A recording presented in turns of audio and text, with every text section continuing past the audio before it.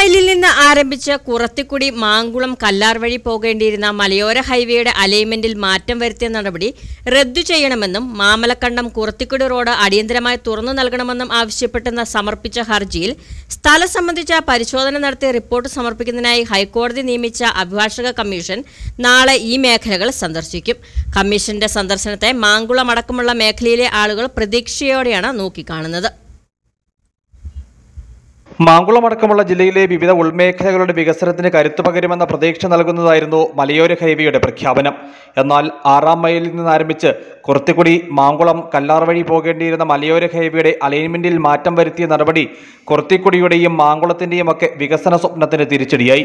പിന്നീട് അലൈൻമെന്റിൽ മാറ്റം വരുത്തിയ നടപടി റദ്ദു ചെയ്യണമെന്നും മാമലക്കണ്ടം കുറത്തിക്കുടി റോഡ് അടിയന്തരമായി തുറന്നു നൽകണമെന്നും ആവശ്യപ്പെട്ട് സമർപ്പിച്ച ഹർജിയിൽ സ്ഥലം സംബന്ധിച്ച പരിശോധന നടത്തി റിപ്പോർട്ട് സമർപ്പിക്കുന്നതിനായി ഹൈക്കോടതി അഭിഭാഷക കമ്മീഷനെ നിയമിച്ചിരുന്നു. ഈ അഭിഭാഷക കമ്മീഷൻ നാളെ ഈ മേഖലകൾ സന്ദർശിക്കും. കമ്മീഷന്റെ സന്ദർശനത്തെ മാങ്കുളമടക്കമുള്ള മേഖലയിലെ ആളുകൾ പ്രതീക്ഷയോടെയാണ് നോക്കിക്കാണുന്നത്.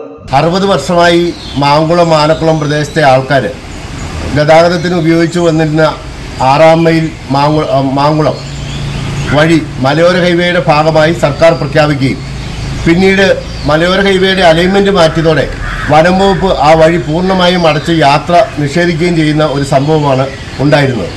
എന്നാൽ അതിനെ ചോദ്യം ചെയ്തുകൊണ്ട് ബഹുമാനപ്പെട്ട ഹൈക്കോടതിയിൽ നൽകിയ ഹർജിയിൽ ഹൈക്കോടതി അതിന്റെ വസ്തുത പരിശോധിക്കുന്നതിന് വേണ്ടി കമ്മീഷനെ നിയോഗിക്കുകയും അവിടെ വനം വകുപ്പിനോട് വഴിയിലൂടെയുള്ള സഞ്ചാരം തടയരുത് എന്ന് പ്രാഥമികമായി ആവശ്യപ്പെടുകയും ചെയ്തിരിക്കുകയാണ്. ഇത് മാങ്കുളത്തെ ഒരു വലിയ പ്രതീക്ഷയാണ് നൽകുന്നത്. അഭിഭാഷകയായ എസ് സുജിനിയെയാണ് ഹൈക്കോടതി കമ്മീഷനായി നിയമിച്ചിരിക്കുന്നത്. പൊതുജനങ്ങൾക്ക് മാമലക്കണ്ടം കുറത്തിക്കുടി റോഡ് ഉപയോഗിക്കുന്നതിൽ ഏതെങ്കിലും തരത്തിലുള്ള തടസ്സം ഉണ്ടാകുന്നുണ്ടോ എന്ന റിപ്പോർട്ടിൽ വ്യക്തമാക്കണമെന്ന് അടക്കമുള്ള കാര്യങ്ങൾ കോടതിയുടെ ഉത്തരവിൽ സൂചിപ്പിച്ചിരുന്നു. മലയോര ഹൈവേ പ്രഖ്യാപിച്ച വിധം മാങ്കുളം വഴി കടന്നുപോയാൽ മാങ്കുളത്തിന്റെ വിനോദസഞ്ചാര മേഖലയ്ക്ക് വളർച്ചയുണ്ടാകുമെന്നതിനൊപ്പം അയൽ ജില്ലകളിൽ നിന്നെത്തുന്നവർക്ക് യാത്രാ ദൂരവും യാത്രാ സമയവും കുറയ്ക്കാനും സാധിക്കും.